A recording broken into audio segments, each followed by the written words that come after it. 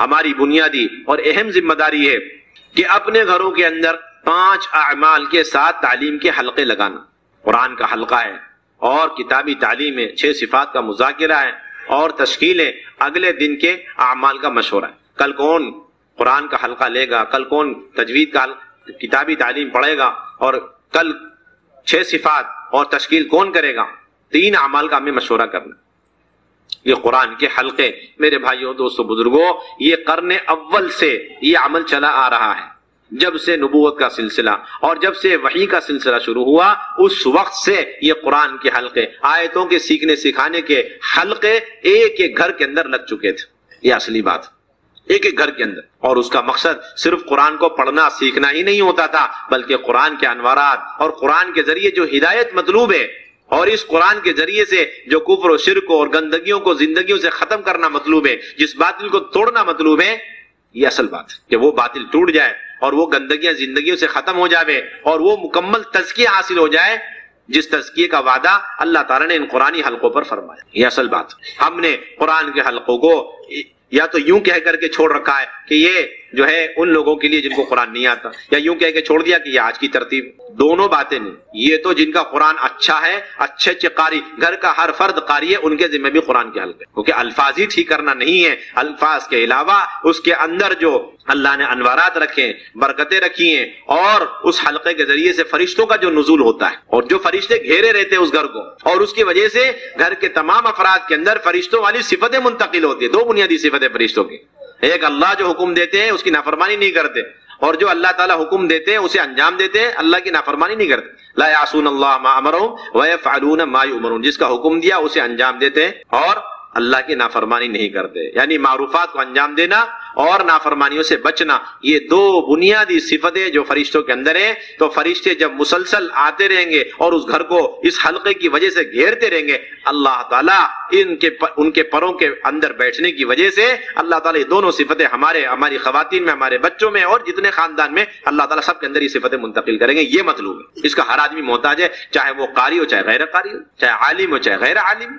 सोचने की बात है कि मैदान जंग के अंदर कभी कभार फरिश्तों के नाजिल होने की वजह से बादल के पाँव खड़ जाते थे तो इन हलकों, मुसलसल इन हलकों की वजह से जब फरिश्ते मुसलसल घरों में आएँगे तो घरों का बादल कितना टूटेगा? हम इसके असल, हम इसके मोहताज हैं।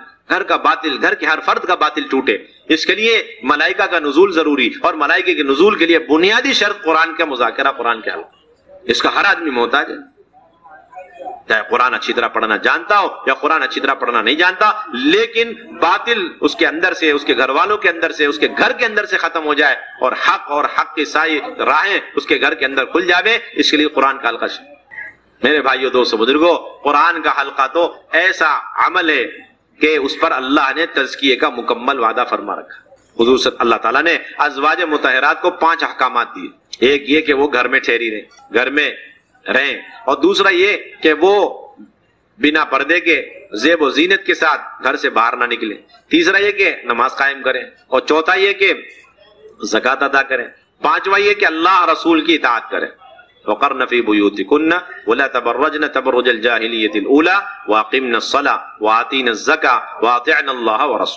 पाँच बुनियादी बात। फिर अल्लाह ने फरमाया, इन पाँचों अहकाम पर अमल करने के लिए जो दो चीज़ों पर मौकूफ है, एक कुरान, दूसरा हदीस। अब इसका हुक्म अल्लाह ने दिया, एक आयत छोड़कर जिसके दो तर्जमे मुफसरीन ने लिखे दो माने। एक तो यह है कि अल्लाह की आयतों का तस्करा कुरान की जो आयात है, उनका तस्करा हो और हिकमत का तस्करा हिकमत से मुराद सुन्नत लिए। यानी कुरान, हदीस दोनों के तस्करे होते रहने चाहिए घर के अंदर। कुरान और हदीस दोनों के तस्करे होने चाहिए। उनको याद रखना चाहिए। उन्हें याद रखो, उनके तस्करे करते रहो। ताकि इसके ज़रिए से इन पाँचों अहकाम पर अमल करना आसान हो जाए। तो ये पाँच अहकाम और ये पाँच अहकाम अच्छी तरीके से हमारी जिंदगियों में आ जाए, इसके लिए कुरान के हल्के और इसी तरह हदीस के हल्के, तालीम के हल्के। अब इन सब का फ़ायदा अल्लाह ताला ने बयान फरमाया कि हम इन सब के ज़रिए से तुम्हारी तथहीर और तुम्हारा तजकिया चाहते हैं।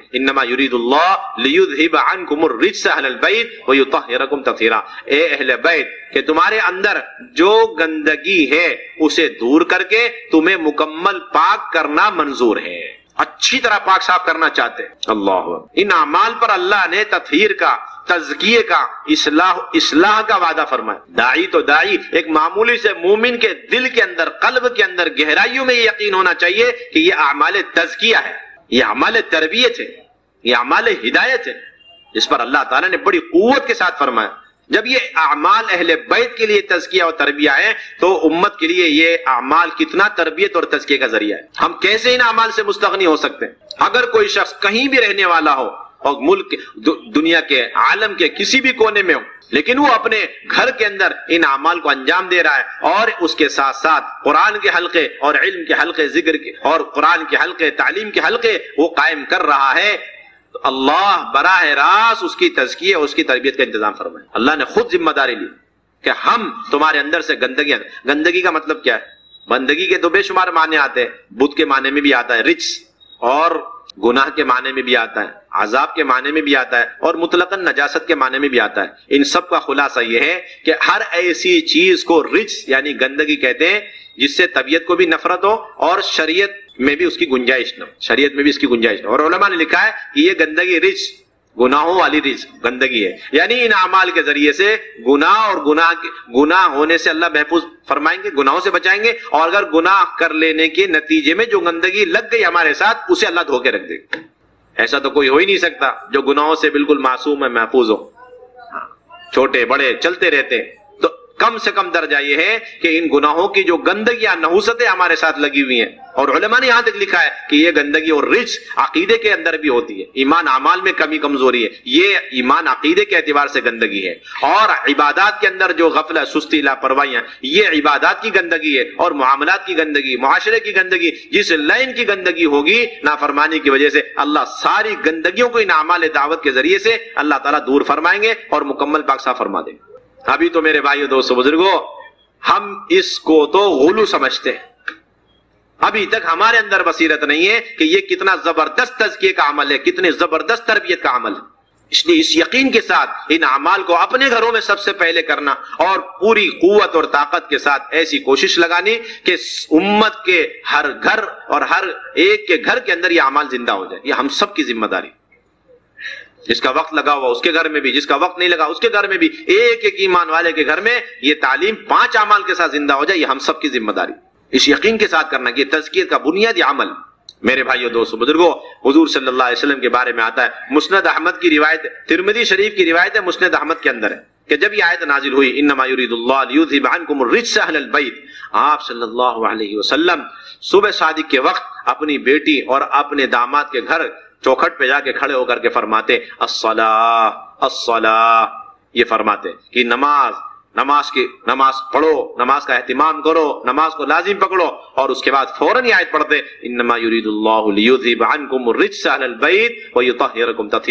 ये जो नमाज़ है, ये वो अमल है जिस पर अल्लाह ने अहले बैत से गंदगी को दूर करने और उन्हें मुकम्मल पाक करने का वादा फरमाया। ये आयत उसी चौकट पे खड़े होकर के अल्लाह के नबी तिलावत फरमाते और रिवायत में आता है कि छह महीने तक आप ये अमल करते रहे। छह महीने तक ये अमल फरमाते मेरे भाइयों, दोस्तों, बुज़ुर्गों, सबसे बड़ी फ़िक्र की बात यह है कि खुद हमारा काम करने वाला अमला, ये अपने घरों की तालीम की पाबंदी में इंतहाई कमज़ोर इनकी पहली ज़िम्मेदारी कि अपनी जात से घरों की तालीम में शिरकत करें। हम किसी भी कीमत पर, किसी भी एतबार से घरों की तालीम से मुस्तगनी और बेनियाज नहीं हो सकते। खुद हज़रत आयशा रदी अल्लाह फरमाती है कि आप सल्लल्लाहु अलैहि वसल्लम घर तशरीफ़ लाते तो हमारे सामने हदीसें सुनाते। एक मरतबा घर तशरीफ़ लाए तो ये हदीस सुनाई कि अगर इंसान के पास सोने की एक वादी या पहाड़ हो तो वो दूसरे की तमन्ना करेगा और अगर दूसरा पहाड़ हो तो तीसरे की करेगा और इसकी ख्वाहिश तो कबर की मिट्टी भरेगी। ये हदीस इस अंदाज से जनाब रसूलुल्लाह सल्लल्लाहु ने सुनाई कि हम सारी खवातीन का जहन दुनिया से आखिरत की तरफ़ पलट गया। मेरे भाइयों, दोस्तों, बुजुर्गो, आप वसल्लम जब बाहर के इतने तकाजों के बावजूद घर आकर के अपनी बीवियों की तालीम और तरबियत के लिए हदीस खुद सुना रहे अपने जबान मुबारक से तो हम कौन होते जो ये कह लें कि हम बाहर के तकाजे जोड़ मशोरे में हैं, इसलिए घर की तालीम के लिए वक्त नहीं है। इंतहाई नाकिस सोच है इंतहाई कमज़ोर बात, हमें इतना वक्त ज़रूर निकालना चाहिए, जिसमें हम अपने बीवी बच्चों को घर वालों को, वालदेन को, बहनों को लेकर बैठे और उनके कुरान की तालीम में, कुरान के हलकों में, तालीम के हलकों में एहतमाम करें। मुफ्ती शफी साहब रहमतुल्लाह ने लिखा है, कल कयामत में उस दीनदार को सबसे ज़्यादा आजाब में मुबतला किया जाएगा, जिसके घर वाले दीन से गाफिल होंगे। अल्लाह हम सबकी हिफाजत फरमा सबसे ज़्यादा अजाब उस दीनदार को दिया जाएगा जिसके घर वाले जिसके घर वाले दीन से गाफिल होंगे इसकी गफलत की वजह से। मेहनत करनी छोड़ दी। बहारी की मेहनत में लगा रहा। इसने बीवी बच्चों की फ़िक्र नहीं करी तो ये बहुत ही इताब और बहुत ही आदाब और सख्त वईद की बात। इसलिए हम इन पाँच अमाल के साथ तालीम के हल्के अपने घरों से लेकर उम्मत के हर घर उम्मत यानी पूरे उम, उम्मत और उम्मत के एक एक फर्द के अंदर, एक एक घर के अंदर ज़िंदा करने की हमें फ़िक्र कोशिश करनी। इसके लिए रोज़ाना का मशवरा भी, हफ्तेवारी मशवरा, महाना जोड़, इन तमाम जो है मशवरों में, जोड़ों में हमें इसकी फ़िक्र करनी। इसी तरह मेरे भाइयों, दोस्तों, बुज़ुर्गों, एक दिन मुंतखब से पढ़ें और एक दिन फजाइल अमाल, फजाइल सदका और घर के सारे लोग बदल बदल के सारे अमाल करें। छोटे भी करें, बड़े भी करें, मर्द भी, औरतें भी, सब लोग सारे अमाल मशवरे से बदल बदल के करें। वीडियो के नीचे सब्सक्राइब के बटन पर क्लिक करें, बेल के आइकॉन पर क्लिक कीजिए ताकि हर नई वीडियो की नोटिफिकेशन आपको मिल